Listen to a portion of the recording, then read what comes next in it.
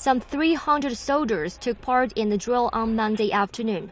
The drill targets to enhance soldiers' ability to use various high-tech fire extinguishing equipment in emergency, including drones. Drones are used in fire detection. Though small and light, the drone has a strong ability to resist the wind.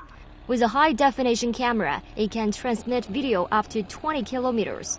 And it also can work in night with infrared ray. In the drill, the drone patrols more than 53 hectares of forest and transmits real-time pictures. After it detected a fire, K-32 helicopter was sent out to put out the fire by watering. In the drill, unmanned planes, Earth Dragon Squad, M171 and K-32 helicopters are used. Besides, extinguishing cannon are applied to beat the fire on cliffs. It's effective. With the help of these high-tech equipment, the drill put out seven fires in a half an hour drill.